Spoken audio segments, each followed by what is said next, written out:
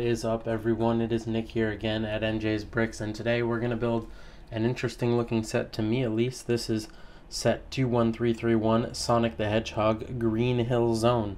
Uh, I believe this is like the first level of the first Sonic game that came out on Sega Genesis uh, years and years ago in the early 90s. And it's kind of a different set to me because it's made to recreate sort of the pixelated nature of the art uh, of the game, you know, as it would appear on your screen.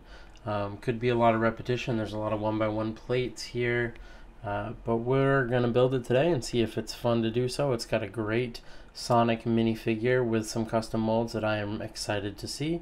And with all that being said, let's get into the build. Remember to please leave a like and subscribe down below if you enjoy this content. And stick around the next couple of days to catch some shorts of the figures in this set.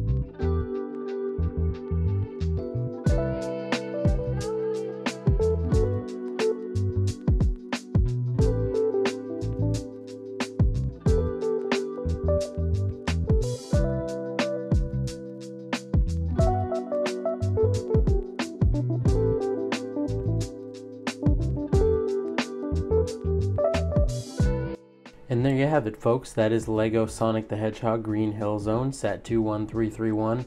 And I gotta say, it wasn't supremely fun to build to me. All of the work with the one by one plate pieces to recreate some of the pixelated nature uh, was a little bit tedious. That being said, I think it looks really awesome. I love that it's long and skinny, so you could fit it in a small, thin kind of space for display. And I think it's got a great minifigure and a cool Dr. Wily here. Remember to like and subscribe down below if you enjoyed this content, and we'll see you next time.